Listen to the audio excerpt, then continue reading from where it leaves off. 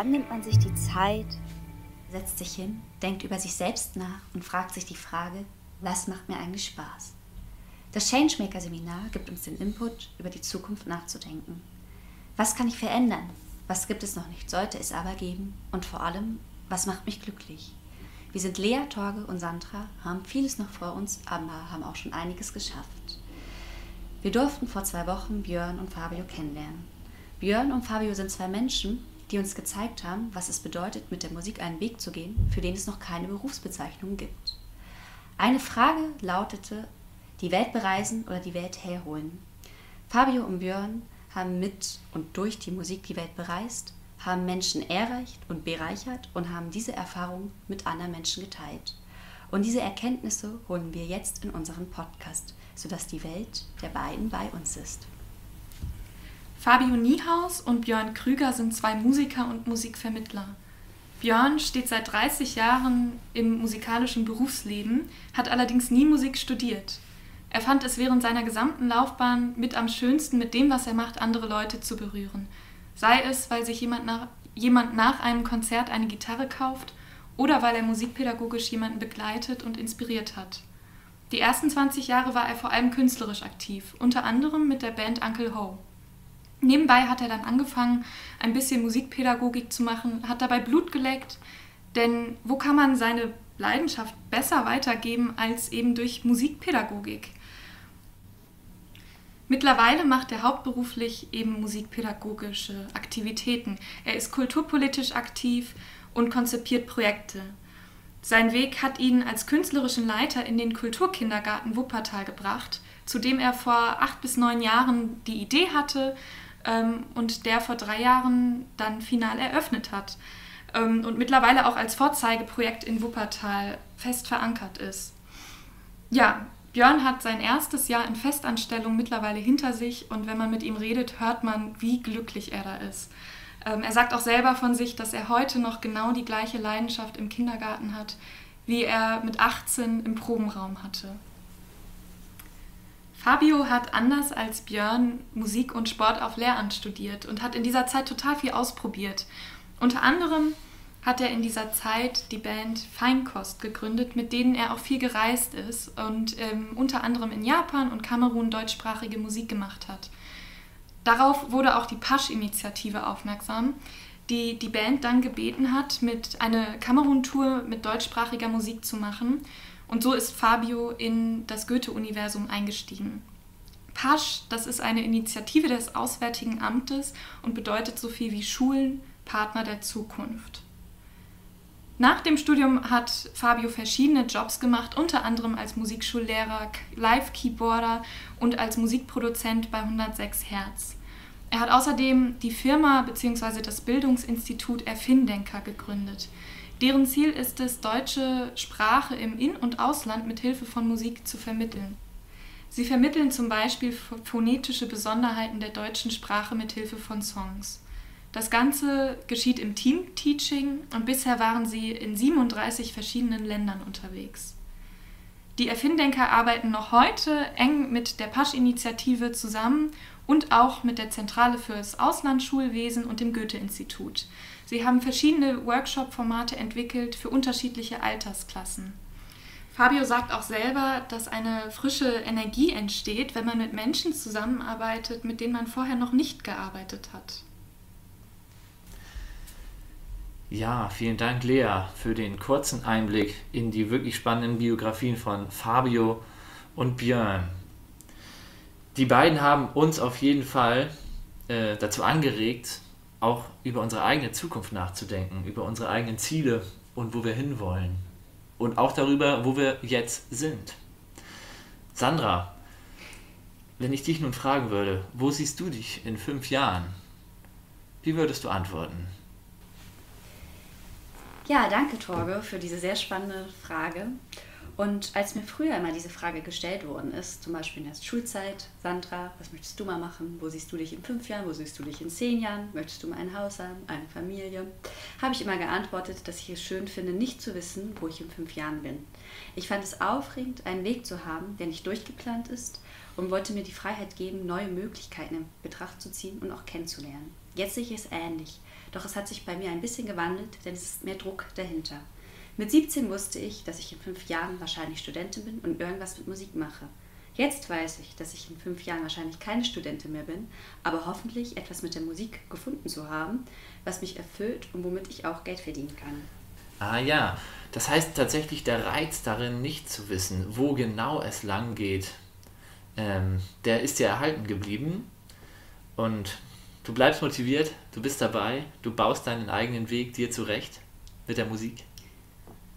Genau. Was ich vielleicht sagen kann, ist, dass ich auch einmal als Gast in ein Seminar eingeladen werden möchte, was Changemaker heißt und ich als Changemaker gesehen werde und meine Erfahrungen mit anderen und mit neuen Studierenden teilen kann, die vielleicht jetzt noch in den Kindergarten oder zur Schule gehen.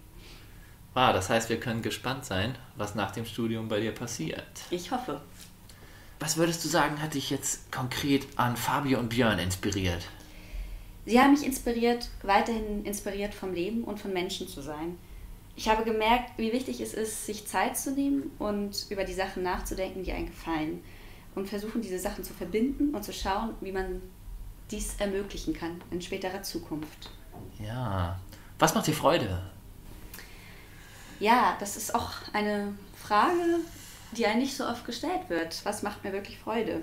Mir macht der vermittelnde Aspekt Freude, die Chorarbeit, die Arbeit mit Kindern, das Klavierspiel natürlich, das professionelle Musizieren, die Kunst im Allgemeinen. Ich interessiere mich für Lyrik, für Malerei, für Ballett und ganz doll auch für den interkulturellen Austausch.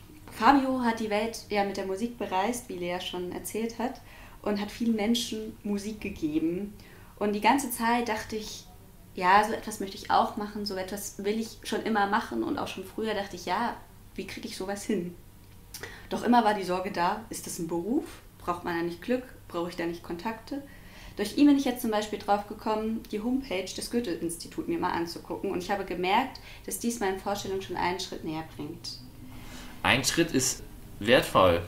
Für die nächsten Schritte, wie könnte es weitergehen? Ist dir da im Allgemeinen irgendwas hängen geblieben von den beiden?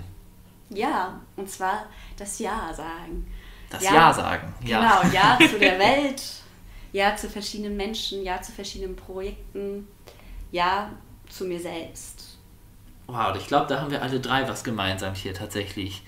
Lea, wie sieht es bei dir aus?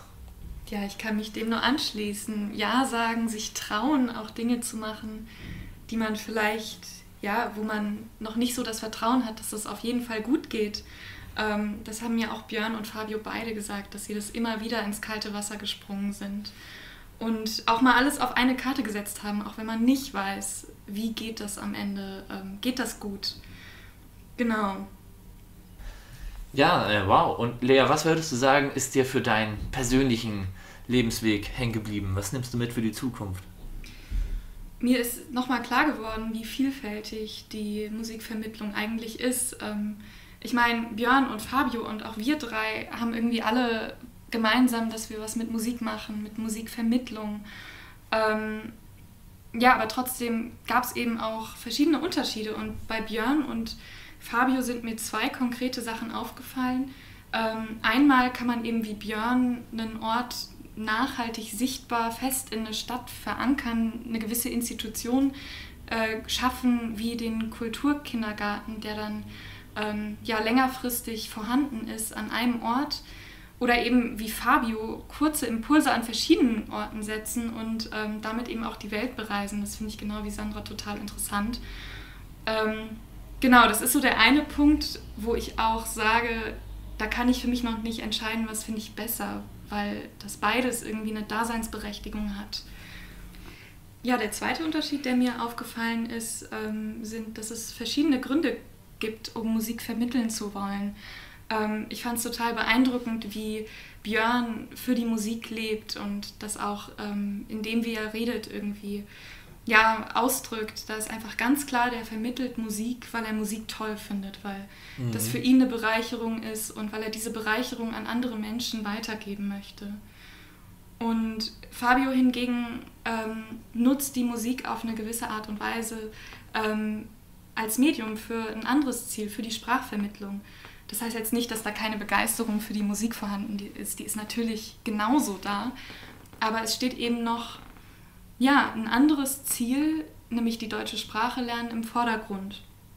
Und ich finde, dass man diesen Aspekt auch total schön in anderen Bereichen weiterdenken kann. Zum Beispiel für den interkulturellen Austausch, der sich in Fabios äh, Schaffen ja auch automatisch dadurch ergibt. Ja, das hat ja auch Sandra schon gesagt, ähm, dass der interkulturelle Austausch ähm, was ist, was man mit Musik erreichen kann. Und ich glaube, Musik, Kultur, Theater, du hast ja auch gesagt, Ballett, Lyrik etc. Ähm, ermöglicht da eben Wege im gesellschaftspolitischen Bereich. Kann man sich irgendwelche Themen kreativ verarbeiten. Man, Musik kann das Selbstbewusstsein stärken und äh, die Gemeinschaft, psychische Gesundheit ähm, stärken. Und da gibt es, glaube ich, total viele Wege. Und in welcher Form dann letztendlich, ob an einem Ort gebunden wie Björn oder eben nicht wie Fabio, das muss dann, glaube ich, jeder für sich entscheiden.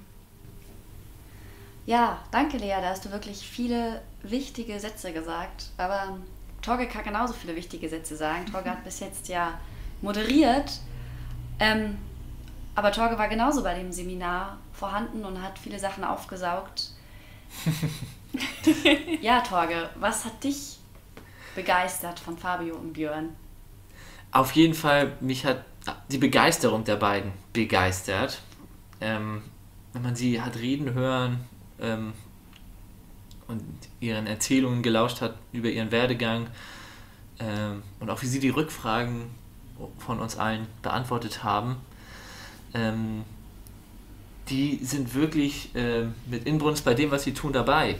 Und ich selbst ähm, stecke noch im Studium und weiß auch nicht, was jetzt danach folgt. Wird es die Schule, wird es die freischaffende Tätigkeit?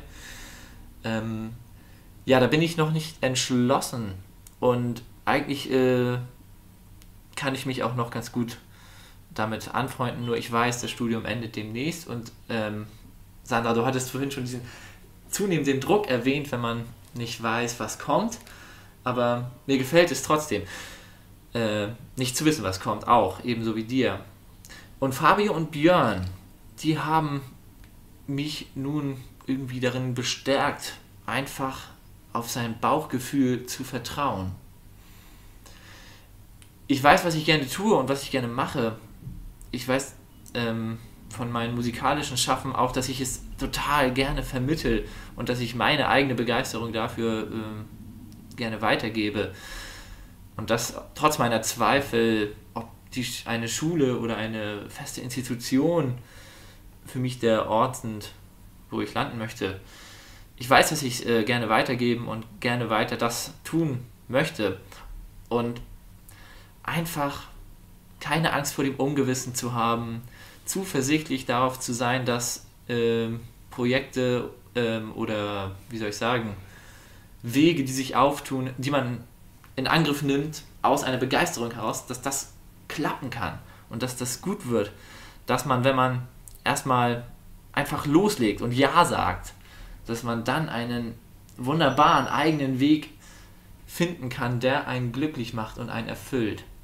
Das ist, glaube ich, der zentrale Punkt, den ich von Fabio und Björn für mich aufgesaugt habe.